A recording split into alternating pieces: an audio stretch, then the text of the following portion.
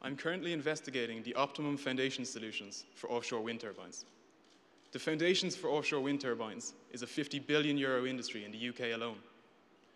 Our recent research at UCD has shown the existing foundation design procedures to be very inefficient.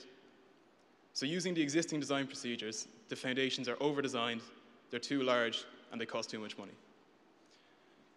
Going forward, we aim to upscale our research to include, uh, to include full-scale monitoring of foundations offshore in the North Sea.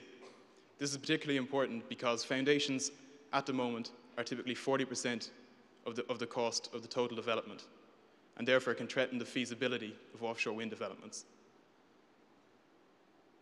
The output of this research will be a novel, efficient foundation design procedure that will ultimately improve the profitability of offshore wind uh, for wind developers and promote offshore wind development across Europe.